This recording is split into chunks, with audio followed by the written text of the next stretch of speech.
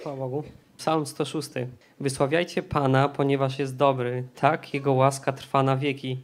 Kto jest w stanie wysłowić potężne dzieła Pana i rozgłosić całą Jego chwałę? I tak, ja nie potrafię wysłowić yy, wielkich dzieł Pana, ale chciałbym z tego miejsca zaświadczyć, że pewnego dnia Bóg okazał tę łaskę i ochrzcił mnie Duchem Świętym. Yy, Stało się to wtedy, gdy było wylanie Ducha Świętego w naszej okolicy, yy, w zborach w Hajnówce.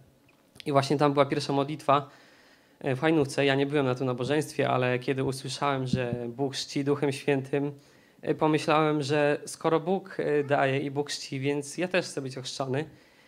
I pamiętam pierwszego czy drugiego dnia, kiedy zebraliśmy się w Dubiczach na górce, było ponad 20 osób.